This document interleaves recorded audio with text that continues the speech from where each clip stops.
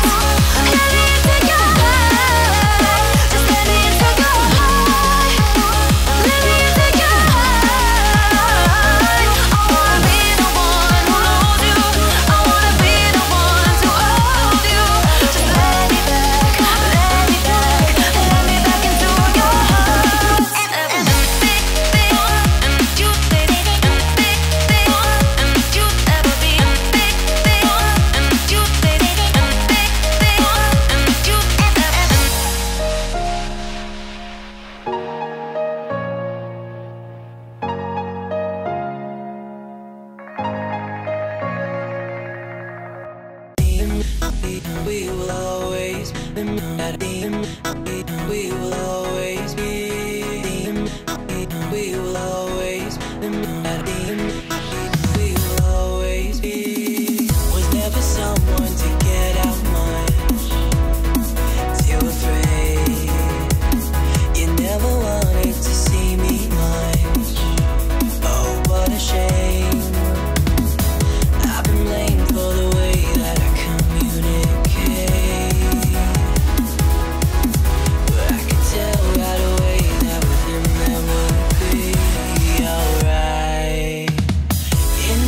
this we will always be falling free.